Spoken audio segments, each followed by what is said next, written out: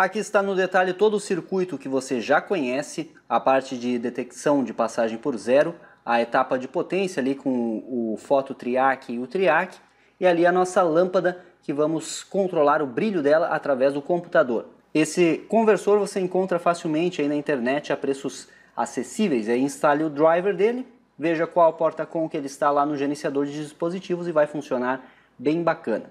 Então eu removi o PIC 12F675 do sistema, alimentei aqui com 5 volts, peguei e apliquei o pulso de detecção de passagem por zero na interrupção externa do PIC e aqui a nossa saída que vai disparar o fototriac para depois disparar o triac com aquele tempo como vocês viram na simulação agora há pouco no Proteus. Vamos ver funcionando, vamos configurar a interface e controlar a lâmpada pelo computador.